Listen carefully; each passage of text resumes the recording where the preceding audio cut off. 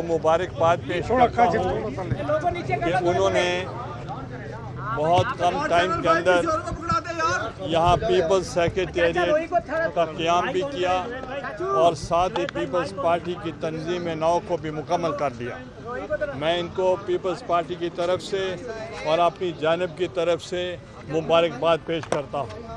اور میرا آنے کا مقصد یہاں جو تھا اس کا مقصد ہے کہ بلاول بھٹو صاحب ملتان میں پندرہ دسمبر کو جلسہ عام کے لیے تشریف لا رہے ہیں۔ اور میں چاہتا ہوں کہ ہم ان کو بتا سکیں کہ جنوبی پنجاب کی تنظیم نو جو ان کا خواب تھا وہ ہم نے مکمل کیا ہے اور ان سے آنے سے قبل ہم یونین کاؤنسل کی سطح تک بھی پیپلز پارٹی کو ری آرگنائز کر لیں گے۔ اور کسی ہی پارٹی کا اگر کوئی اثاثہ ہے تو وہ ورکر ہوتے ہیں۔ اور آپ نے دیکھا ذوالفقار علی بھٹو صاحب کو محترمہ بے نظیر بھٹو صاحبہ کو اور آج بلاول بھٹو صاحب کو کہ ان کا فوکس اگر کوئی ہے تو وہ پارٹی ہے، کارکن ہیں، کارکن پارٹی کا اثاثہ ہیں اور انشاءاللہ جو پارٹی کے کارکن ہیں، یہ پارٹی کو مضبوط کریں گے اور پارٹی کے کینڈیڈیٹس کے لیے بھی کام کریں گے۔ اور پارٹی کے منشور کے لیے بھی کام کریں گے۔ گیلانی صاحب پندرہ دسمبر کو ہونے والا جلسہ آپ کس نظر سے دیکھتے ہیں اور اس کے اس جلسے کے دو ہزار اٹھارہ کے الیکشن پر کیا اثرات پڑیں گے؟ دیکھیں پاکستان پیپلز پارٹی نظریاتی جماعت ہے۔ آئیڈیولوجیکلی کمٹڈ جماعت ہے۔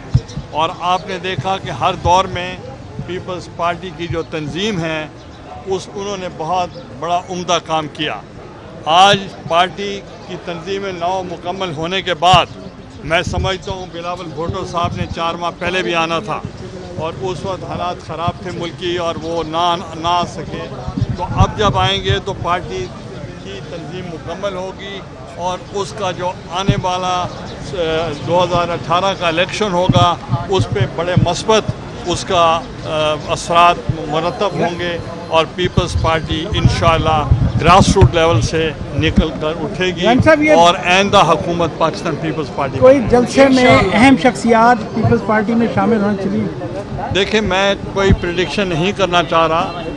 جلسے سے پہلے بھی بہت اہم شخصیات شامل ہو رہی ہیں اور کئی ex M L As M P As شامل ہو چکے ہیں اور ہم اس میں جب بڑے چوزی ہیں کہ ہم چاہتے ہیں کہ ایسے ایڈیولوجیکلی کمیٹڈ لوگ آئیں جو پارٹی کے منشور کا ساتھ دے سکیں پارٹی کا جو ایک پروگرام اس کا ساتھ دے سکیں۔ اگر ہم ہجوم اکٹھا کرنا چاہیں گے تو میرا خیال ہے اس کا انجام بھی ایسے ہوگا جو دوسروں کا ہوگا۔ گیلانی صاحب جو مشکل وقت میں پارٹی کو چھوڑ گئے تھے اور اب دوبارہ پر تول رہے ہیں کیا پارٹی انہیں قبول کر لے گی؟ دیکھیں یہ میں نے بتایا کیس ٹو کیس ہے۔ اور پارٹی لیڈرشپ پہ ہے وہ کیسے کسی کے ساتھ ان کو ایٹیٹیوڈ ہے ان کا میں سمجھتا ہوں کہ پیپلز پارٹی ہر اچھی شخصیات کو ویلکم کرے۔ یعنی صاحب یہ کہا جا رہا ہے کہ قبل از وقت انتخابات ہونے چاہیے اور کچھ قوتیں کچھ سیاسی جماعتیں چاہتی ہیں کہ سینٹ کے الیکشن سے پہلے عام انتخابات کا اعلان کر دیا جائے۔ آپ کس نظر سے دیکھتے ہیں؟ دیکھیں آئینی طریقہ کار کے مطابق وہ تو وزیر اعظم خود اعلان کر سکتے ہیں کہ وہ اگر اسمبلی کو ڈیزالو کرنا چاہیں تو وہ کر سکتے ہیں۔ مگر میری جو میں سمجھ ہے، میں سمجھتا ہوں کہ سینٹ کے الیکشن سے قبل وہ ایسا نہیں کریں گے اور ان کو نہیں کرنا چاہیے اور ڈیموکریسی کو مضبوط کرنے کے لیے پانچ سال کی مدت جو ہے ان کو پوری کرنی چاہیے۔ سر، یہ فرمائیں کہ جو ہے، آصف زرداری صاحب نے اپنا مسلم لیگ نون اور پی ٹی آئی کو ہم نے سامنے کھڑا کر دیا اور خود وہ انجوائے کر رہے ہیں اور پارٹی کی تنظیمیں نو کر رہے ہیں۔ اس پہ کیا کہیں گے؟ دیکھیں، کوئی وہ بچے نہیں ہیں کہ وہ آصف نظاری صاحب کی وجہ سے وہ آمنے سامنے ہیں۔ ہر ایک کے اپنے نظریات کے مطابق آمنے سامنے ہوں گے، اپنے حالات کے مطابق ہوں گے۔ ہم نے ہمیشہ انسٹیٹیوشن اور کانسٹیٹیوشن کا احترام کیا ہے۔ اس لیے ہمیں کوئی سروکار نہیں اس سے کوئی متاثر ہوگا یا اس سے متاثر نہیں پیپلز پارٹی اکیلے ہوگی میدان میں یا کچھ اتحادیوں کو ساتھ لے کر چلے گی؟ وقت آنے پہ یہ سارا کچھ سامنے آ جائے۔ گیلانی صاحب یہ فرمائے کہ پیپلز آپ نے فرمایا کہ پیپلز پارٹی کی حکومت ہوگی دو ہزار اٹھارہ کے الیکشن کے بعد۔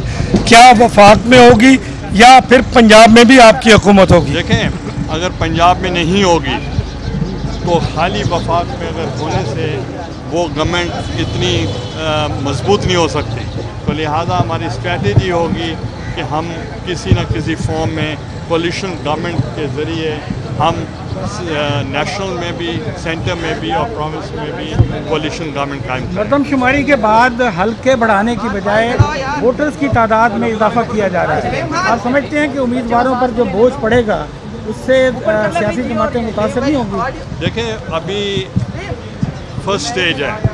ابھی ریکمنڈیشنز آئیں گی۔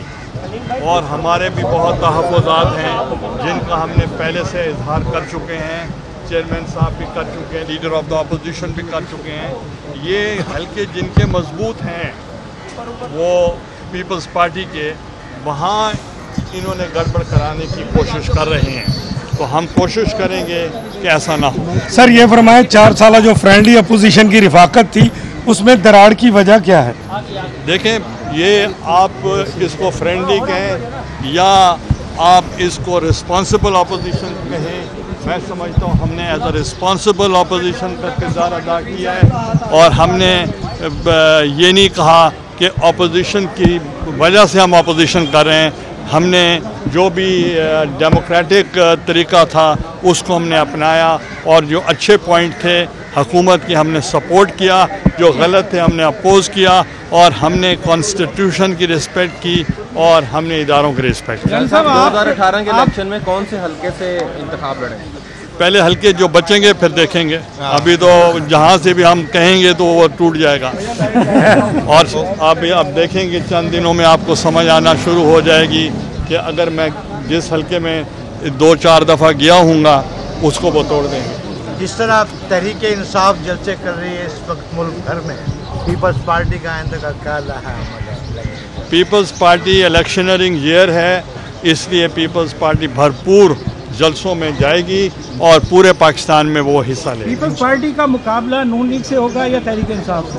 دونوں سے ہوگا۔ دونوں سے ہوگا۔ صاحب یہ فرمائیں ایک جماعت نے ٹارگٹ کیا ہوا ہے اداروں کو۔